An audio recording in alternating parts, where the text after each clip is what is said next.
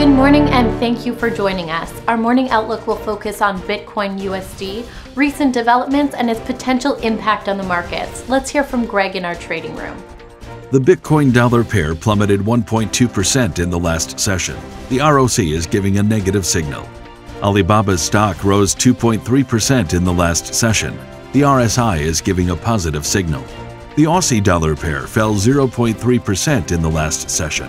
The stochastic RSI indicates an oversold market.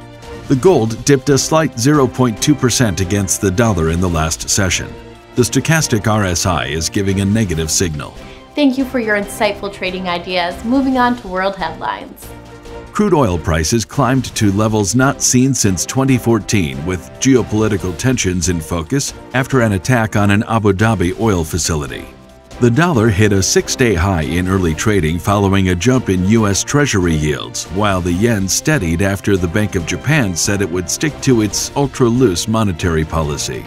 The cult website fees.wtf, which shows Ethereum users their lifetime gas spend on transactions, saw its SWTF token plummet 80% in its initial week post-airdrop. Thank you, and now let's go through today's major economic events.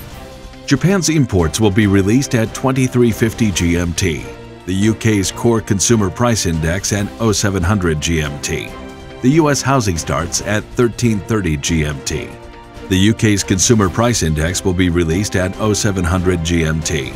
Germany's consumer price index at 0700 GMT the Irish Consumer Confidence at 0101 minute GMT. We hope that you've enjoyed today's market outlook. On behalf of all of us here, we wish you a productive trading day. Be sure to join our next review for the latest news and events from the financial markets.